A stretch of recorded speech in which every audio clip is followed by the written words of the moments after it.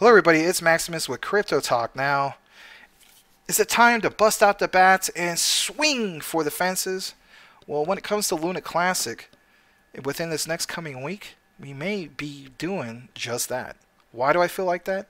Well, let's go ahead and get right into it, and I'll show you what I mean. So, for instance, it says right here, Luna Classic's price reignites an upswing, hence why I busted out the bat. This may be the trend for the upcoming week. A highlight that it mentions is that Terra Classic's price appears to have resumed with the uptrend after a minor pullback during the last working day. Now, in regards to all this, um, last week we saw what? We saw uh, a hint of some bullish times, uh, particularly for Terra Luna Classic. Um, we saw some green days. We saw some nice pumps, not just for Terra Luna Classic, but also for what? USTC. Why did we see it in particular for uh, Luna Classic? Well, it's just like it mentions right here. Uh, Luna Classic's price began to stabilize ever since the minting of new coins was halted. Moreover, the community voted and passed the Luna Classic burn proposal that destroys some of the amount of tokens during each uh, transaction. Again, I feel as though in order for us to have seen those pumps that we saw last week, like Luna Classic was uh, up over 125% on average for the week, and USTC was way over that, for instance. The reason why you saw that particularly for Luna Classic, is because what? The two main things that had to happen was the halting of uh, the minting of new coins, and then also um, the burn proposals that were not just implemented, but actually being executed, right? You saw the IDs happen, they came to full fruition, you know the whole story. So those two main things. But check this out.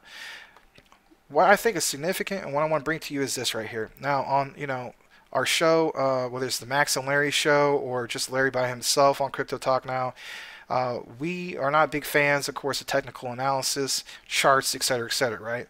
But I'll tell you this much: within my uh, two years, close to two years experience of you know trading crypto um, on a regular basis, um, these things excite me.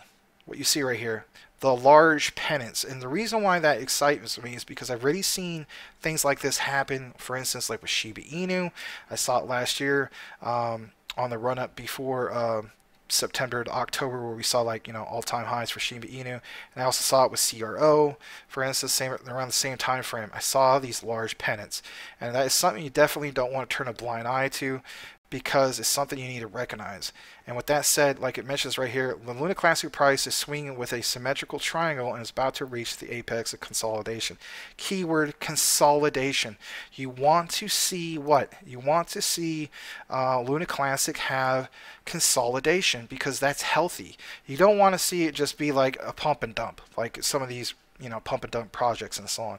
Um, some people will make the case, well, at the end of the day, you know, what caused Luna Classic was because of pumping up. Okay, that's true. But I'm talking about post uh, what happened from that time frame. Luna Classic in itself, you want to see the consolidation. If we can get more support lines, new support lines, this is healthy for Luna Classic moving forward. So like, comment, and subscribe if you haven't done so already. Let me know what you guys think about uh, that large pennant that we just saw right there. Do you feel as though it's insignificant? Oh, does it matter? But what we really need to see is more, you know, projects. Uh, you know, for instance, uh, you know, like that Metaverse one, Starship.